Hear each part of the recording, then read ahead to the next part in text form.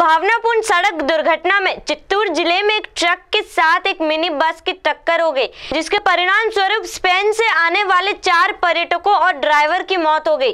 बताया जा रहा है कि छह अन्य स्पेनिश नागरिकों को गंभीर रूप से चोटें आई हैं, जिनमें से एक गंभीर स्थिति में है।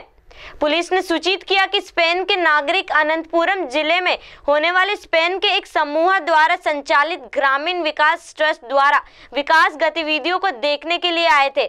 चालक सहित बस में 11 लोग थे और दुर, और दुर्घटना तब हुई जब मिनी बस से टकराने के दौरान कंटेनर ट्रक के चालक ने अपना नियंत्रण खो दिया। उनमें से पाँच की मौके पर ही मौत हो गई जबकि घायलों को उपचार के लिए बेंगलुरु में कोलंबिया एशिया अस्पताल में भर्ती कराया गया है। मुख्यमंत्री एन चंद्रबाबू नायडू ने इस घटना पर दुख व्यक्त किया और कलेक्टर को पीड़ितों के विवरण के बारे में नई दिल्ली में स्पेनिश दूतावास में संपर्क करने और निकायों के बदलाव के लिए आवश्यक व्यवस्था करने का निर्देश दिया।